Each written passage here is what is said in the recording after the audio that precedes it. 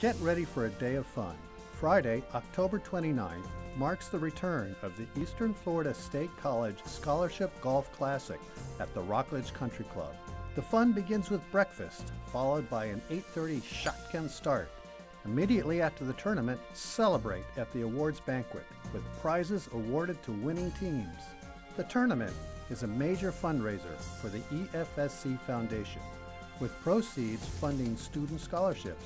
For the last 40 years, the foundation has provided essential financial support to EFSC students. You or your organization can help the foundation raise money this year by becoming a corporate sponsor, signing up with a team, or signing up as an individual.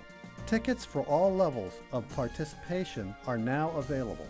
For complete information on how you can help, call 321 433 7055.